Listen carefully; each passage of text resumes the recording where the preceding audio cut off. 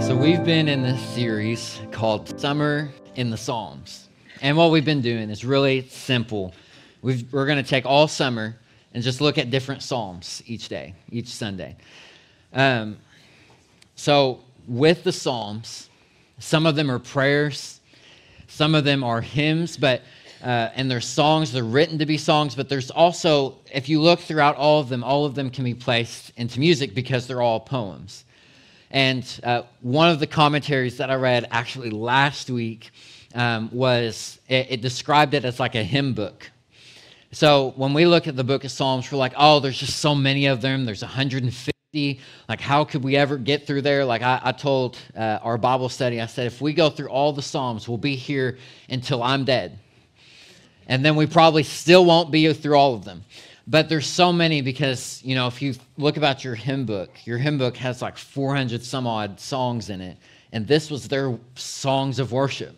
This is what they used in worship in their temple services, in their church services, and even going into the early church after Jesus had lived, died, and rose again and ascended into heaven. They're still using these psalms as songs during their worship.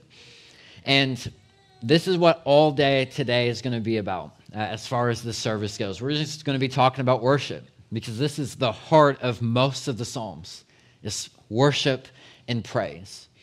Even in the ones where they're lamenting or they're complaining about things that are happening in their life, whoever the psalmist is, or if it's David talking about all of his hurts, it always ends with some sort of worship towards God. And uh, when I think about worship, I go back to my own life when I'm sitting there in, in, church. My dad was the pastor of every church that I was a part of. And we're sitting there in church and we're looking in the hymns. And I remember feeling the presence of God while we were singing hymns. And I would look around and everyone looked like they just had a sour grape.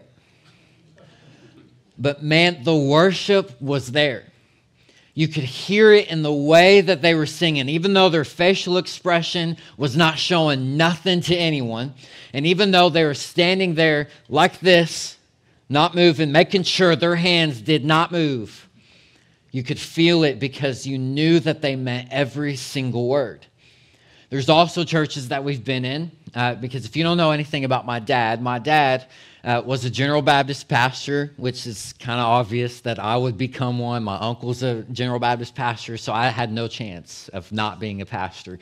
But he, he grew up in a home where one side was very Pentecostal and the other side was very Baptist. And so he called himself a Baptist.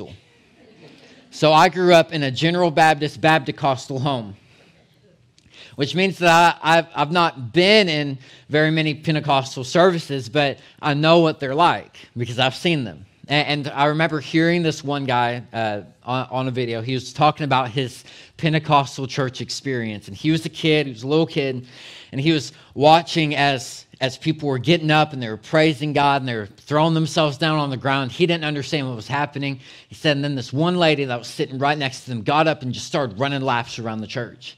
And he looked over to his mom and he said, Mom, what is she doing? She said, Don't, don't talk about it. He's like, No, no, no. I need to know right now what is happening because I didn't know that we could run around the church and this lady's doing it. And she said, Well, that's called a Jericho march. She's running around the church in praise of God. And he said, Did she read the story about Jericho? because it didn't end well for the people in Jericho. And they said, Mom, we need to stop her at lap six Make sure she doesn't get to lap seven. Right? So then you see the Pentecostal side, and you think immediately, you're like, wow, they're really praising Jesus in there.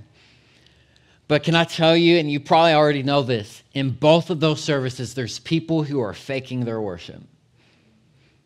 There's the people in the in the Baptist, it tends to be Baptist Methodist background, where they're sitting in there and they're they're as straight as can be because that's the worship atmosphere that they grew up with.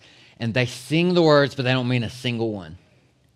And then there's also the Pentecostals. They'll be up, they'll, they'll be running around, or the, the charismatics, they'll be running around, they'll be waving their flags, they'll be throwing themselves on the ground, and they leave feeling even more empty than when they came in. There's a problem with our praise. And I think the problem came from the church. It didn't come from the outside world. This is our world. Worshiping the true living God, there's a problem with our praise. There's the story of a man several, several years ago. Uh, he was an American man. He, he married uh, a woman from the Middle East. And they, they moved to the Middle East and uh, started preaching the gospel. So he and along with his wife, they're, they're leading this rapidly growing underground church. Thousands of people were, were secretly coming to this church that they had built because around this area, it was nothing but Muslims. And all these Muslims were turning to Christ in, in this very Islamic world, and it was exploding with growth. And they led this for years, and it was a very dangerous situation for them. See, in this part of the world, if they were caught sharing the gospel with anyone, you would be thrown in prison and tortured. And if you were a, woman follower of Christ, it was likely going to include rape or other type of sexual assaults against you. And then if you're a man, you had all of these very physical bad things happen, painful experiences happening just for saying the name of Jesus. So it's a very dangerous part of the world. And each morning, this husband and his wife would part ways, acknowledging to one another that it may be the very last time that they see each other.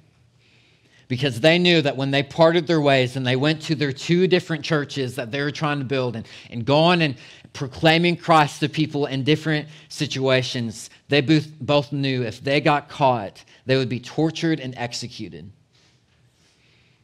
And while they were leading this underground church, this man and his wife were given the opportunity to move to, to the United States. And so they took it. They went to the United States. They lived here for a period of time. And then they, they left the United States. Now, when asked in an interview, why did you leave the U.S. when, when your Islamic country that you're in was so dangerous that you didn't even know if you're going to see your wife, you didn't know if you're going to see your husband the very next hour. Why would you leave this place that has so much freedom and people can freely worship? And the wife told the interviewer this It was like there's a satanic lullaby playing here, and all of the Christians are asleep. And I felt like we were falling asleep too. So they went back home. Jon Bloom, an article writer for Desiring God, said it this way as he's writing out this article. If we're not feeling the anguish over people's eternal state and ordering our lives around praying for them and trying to find ways to bring the gospel to them, we are being lulled to sleep by the devil's soothing strains. There's a problem with our praise. You may be thinking, well, I feel very spiritually alive. You know, I, am not the most expressive in my worship, but I feel spiritually alive. I read my Bible, I pray, I go to church, I sing the songs, I do everything that I'm supposed to do. I want to simply ask you this about our church that you're involved in right now. Have you even noticed that it's been almost a year since we've had a baptism? And if that's shocking news to you, you didn't notice. And then this, this next question is going to be really easy for you to answer. Did you even care?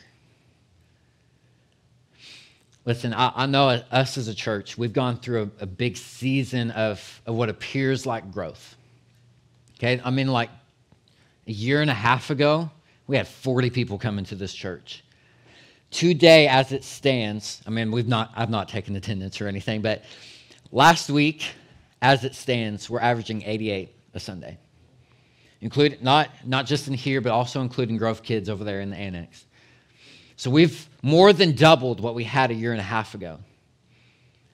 And, and I'll just be really honest with you. For a while, I didn't notice that all of our growth tended to be transfer growth. People coming from other churches, and we're glad to have you. It's not that. But my main concern is seeing us grow in this way to where we're seeing people's lives transformed by the gospel. Now, I do have a praise that we do have a baptism that's going to be coming up soon. But still, did you even notice? Did it bother you? because you saw how the church was moving, you saw all the things at the annex that was happening. Everything seemed to be good, but we were missing one major piece. And it began to bother me and it began to break me. And we'll, we'll get to that in a minute. But if you didn't notice, if it didn't bother you, you might already be asleep. And so, my goal is to hopefully help wake you up from this satanic lullaby. Something that happens with, with what Satan does with people in churches, I think, this is just my personal opinion. I think what he does is he, he gets us so familiar with the songs. He allows us to get so familiar with the hymns, with the songs that we sing, that we come in here and we sing them, and we're somewhat bored. We, we come in, we sing because we know the words, we don't want other people to look at us and see us not singing, and, and so we sing too. Or maybe we actually enjoy the songs, we just don't enjoy the meaning. Because we love the beat, we, we love the words, but we don't actually know what we're singing. So we get so comfortable in our in our rhythms where you know we we have morning announcements and then we sing three songs and then a Pastor Logan comes up and he and he preaches for about 35 minutes on a good Sunday and then and then we go and we sing the last song, and then we're out of here. And if that's your experience, if that's all you know about worship in this church, then as your pastor, I am deeply sorry. And know that I've been praying for you. Because that is not our best. And we are to give our best in worship sometimes when we're under this satanic lullaby, we praise God in the good times because it's easy to praise God in the good times. But then we pretend to praise God in the middle of the storm because we know that we're supposed to. We know that we have to. Or, or we don't want other people to think that we're not spiritual, so that we sit in this place and we're like, well, you know, uh, my mom's got cancer and, and, and, you know, I'm dealing with all these health issues and financially we're basically on the verge of bankruptcy and I've got all these other problems in my life, but praise God, He is good. Simply so that other people think or uh, have this portrayal of us that we are really worshipful, that we're really deep in our relationship with God. And the reality is, is that we're just sleeping, waiting for the day that we don't have to go to church anymore that we don't have to see our problems face to face. It's like this quote that I heard a long time ago, and I didn't put it in my notes, so I'm going to butcher it, but it's fine. Um, there's this quote, it said, um, Would you enjoy heaven if, if heaven was all of the greatest food that you could ever have, and, and that was there, and all of your friends, all of your family, all of them were all there? You had fun all the time. Everything that you enjoy about your life was even more so great when you got to heaven, but God wasn't there. But Christ wasn't there. Would you enjoy heaven? Now, the, the Christian response is, well, no, because Jesus is my Lord and my Savior, and, and I would never want to be. But just bear with me. If you're truly honest with yourself, even if you're the best Christian in the world, if you're truly honest with yourself, you would love the comfort, you would love the peace. But would you love Christ? And that's what that quote, that person was trying to bring out. But there's a problem with our praise. you know, a little bit of the of the church world coming in, thinking about my different experiences and hearing the experiences of worship with others. I know, like in in, in the charismatic background, there's people who who just aren't expressive in their worship, and that's fine. I'm not expressive in my worship, but it's consistent with most everything that I do. Right? Okay? We'll get to that in a second. Why I pointed to her, you'll, you'll understand here in a second. But what I, but they, they're not expressive in worship, but they feel like they have to. And so they put on a show so that other people think that they're, they're worshiping. And then you've got people in the, you know, Baptist, more uh, Uh, it's mostly Baptist, okay? I'm talking to Baptist people here, so we get it. But uh, the Baptist group, they're, they're sitting there, and, and there's some in here who are craving to be expressive in their worship, but they feel like they can't because everyone else is following suit, standing there, reading it, looking up to their one screen. I think I'm the only one in here that switches screens between that one and this one. Everyone else, you know, you got your monitor picked out. Right? And so there's some who are, who are actually wanting to be very charismatic in their worship, but they feel like they can't because the church has suppressed it. In fact, there's a, there's a church that I, I heard about. Uh, they're a thriving church now. They're a mega church now. They've got more than 15,000 going there. But when the guy, when the pastor that's currently there now started, they had about 70 or 80 going there. And they told them part of their theology uh, for evangelism was that we are not expressive in our worship because uh, the outsiders who come in will think that we're weird. And that was the culture of the church, this Baptist church. The culture of it was you don't raise your hand in worship because someone's going to think you're weird raising your hand. Yet, when you look out in the world and we, we go to concerts, we go to, the sports games, what are we doing? Raising our hands. We're cheering. Right? And, and there's, there's an inconsistency. Now, here's why I said I, am consistent. It's not to say that I'm better than anyone because I'll tell you how broken I was in my praise. But when I'm, when I'm sitting here in church, you'll see me. I've got my hands here. I have my eyes closed for a reason. It's, it's how I help prepare my heart to, to go towards or to point my heart towards God. But rarely will you see me go like this. I do, but rarely do you see it because I'm not expressive in my worship, just like I'm not expressive in Kentucky basketball games. I'm not. Chloe has told me before watching you watch a Kentucky basketball game is the most boring thing I've ever seen in my life because I just watch it. I'm not really express inside. I'm like cheering them on and like yes, yes, but on the outside I'm just like right? This is, this is my Kentucky basketball watching face right here for the whole three hours. Right?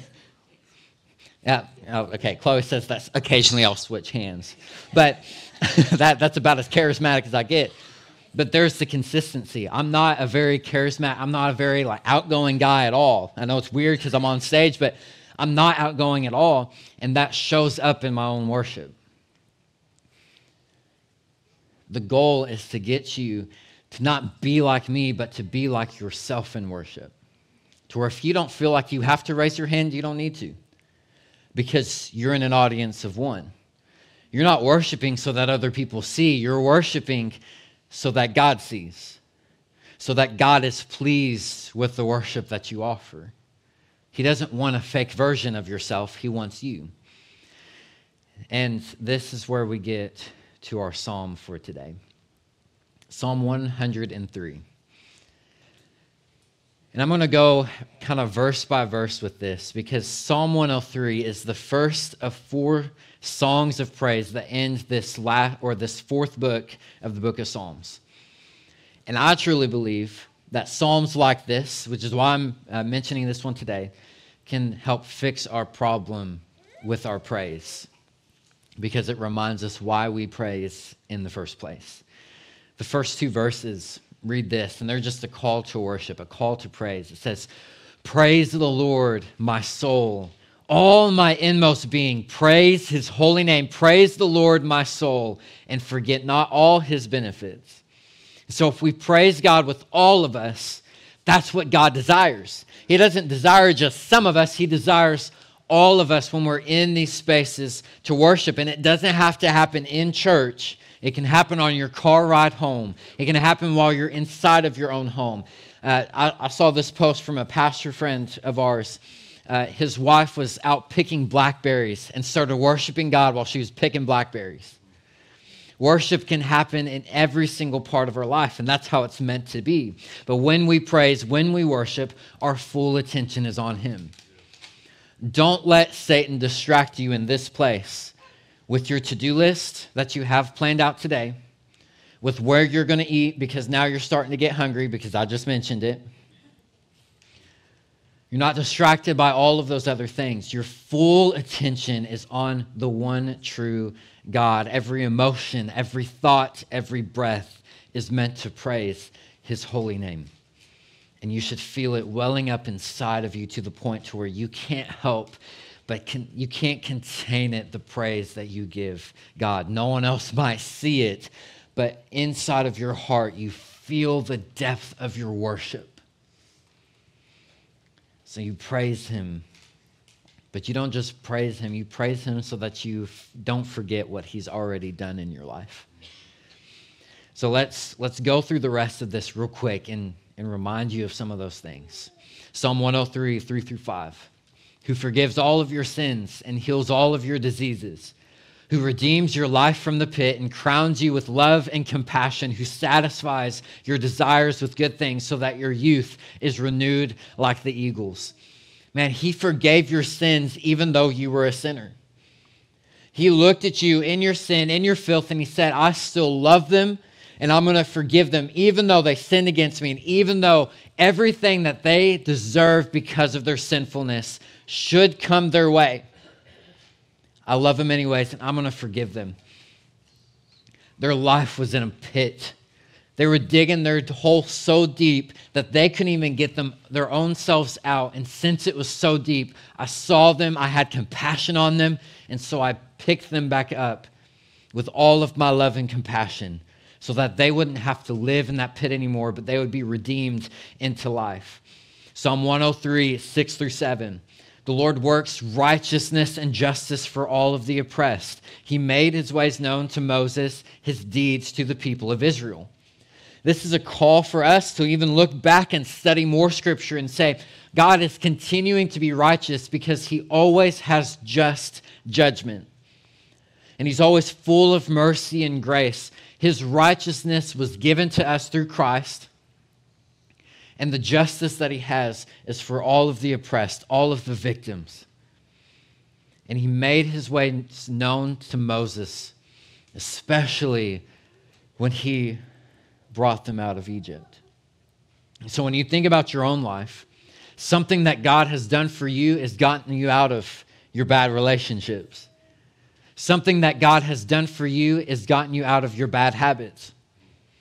Something that God has done for you is gotten you out of your sinful ways. He's gotten you out of those terrible circumstances that you faced in your life. He's gotten you out of your own personal Egypt.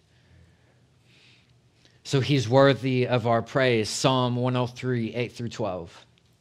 The Lord is compassionate and gracious, slow to anger, abounding in love. He will not always accuse, nor will he harbor his anger forever. He does not treat us as our sins deserve or repay us according to our iniquities. For the high as in the heavens are above the earth, so great is his love for those who fear him. As far as the east is from the west, so far he has removed our transgressions from us. Again, God looked at all of your sinfulness and he said, I'll throw it as far as the east is from the west because there's no end. There's no measurable amount of distance from east to west. So I will throw them so far away that I will basically forget them. I'll forget all of your sinful ways. When you come to me and I actually forgive you and I, and I redeem you and I bring you into a new life because I'm slow to anger. Slow to anger when you sin against me, but I'm abounding in love. Can I just tell you this? I, have mentioned this before that, that I had anger issues when I was growing up. I know mom's watching this at home, so she'll, she'll appreciate this story for like the 20th time that I've told this church. Um, but when I was a kid, I had anger issues. I would bite my mom, just bitter because I was mad at her.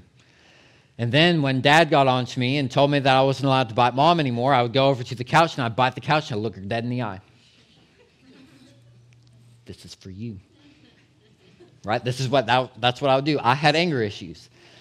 And uh, I suppressed all of those issues for a long, long time until about, I don't know, three years ago. I started praying for God to reveal some things in me that I didn't know was in me still. And one of those was anger. And uh, in that season while I'm trying to deal with my anger. I don't have it completely handled or anything like that. So don't think that. You'll probably never see the anger because I know how to suppress it when I need to. So you'll never see that. But I, I'm not as slow to anger as I thought I was. Now, I'm slower to anger now than I was back then when I started uh, getting all of those emotions and that anger back out of me after all those years of suppressing it. But if God was as slow to anger as I am with myself and with other people, none of us would be here. We would all just eventually, God would say, Fine, you do what you want to. I'm going to step out and then he would watch the world that he created burn.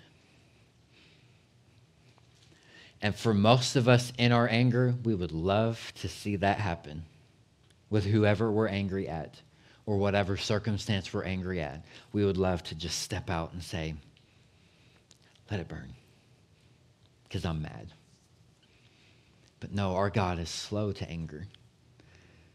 So even when you continuously sin against him over and over and over again, when you continue to nail his son's hands deeper and deeper and deeper into the cross, he's slow to anger and he's abounding in love. But his anger will come at one day.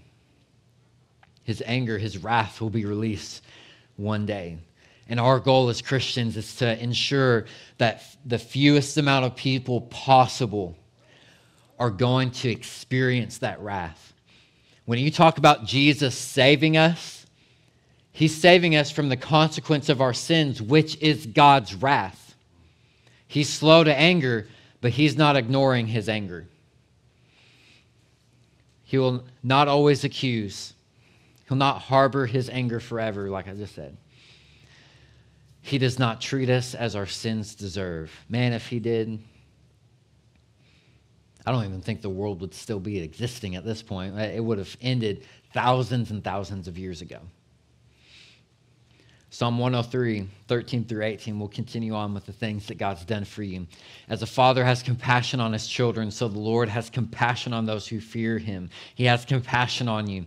He shows you how we were formed. He remembers that we are dust. The life of the mortals is like grass, they flourish like a flower in the field. The wind blows over and it's gone. The place remembers it no more. But from everlasting to everlasting, the Lord's love is with those who fear him, and his righteousness is with their children's children, with those who keep his covenant and remember to obey his precepts. What this is saying is that he knows that we're all mortal, but he's everlasting.